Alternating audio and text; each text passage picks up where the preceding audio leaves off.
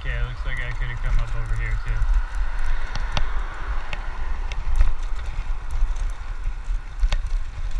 Thought so, but didn't remember.